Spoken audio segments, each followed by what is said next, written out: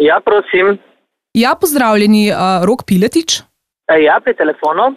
Pozdravljen, Rok. Uh, Tukaj uh, Vesna Omar iz uredništva razvedrilnega programa RTV kličem in sicer sem asistentka od odgovornih. Um, a motim? Ne, ne, ne, ne motite. Lih, lih se vozim, ni problema, lahko govorimo.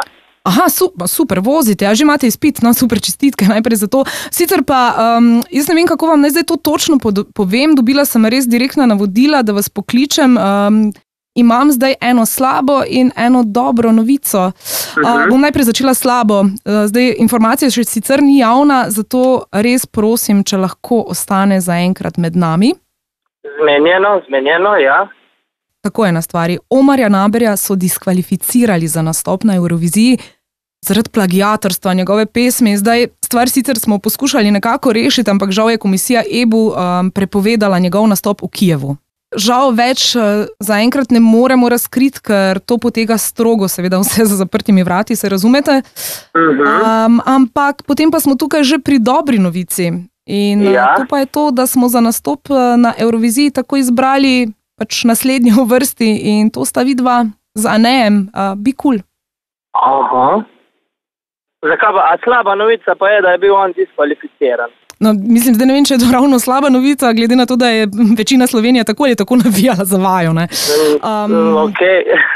Ja, jaz ne, a to je dejansko res. Čakaj, imam, imam, a ne, a to zraven, pa mu lahko povete. No, super, če ste na kupu, toliko bolje, najboljše, da se data kar na zvočnik. Jaz imam tukaj tudi Marja Galuniča, da vam on osebno zdaj to tudi pove, če mogoče ste malo v dvomih. Ja. Fanta, čestitke, rad bi se vam še zahvalil v imenu Tanje Kocman in Korja, da ste nasedla kot tanker. Pa to, pa to. Ej, točno si vedel, točno si vedel. Stari, točno si vedel, ma to ne moreš reči. Ej, te, pa upam, da te ne vidim, ki je res to si pravi, to je noro. Kaj je rok? Ti pa isto, Vrhunsko, ha?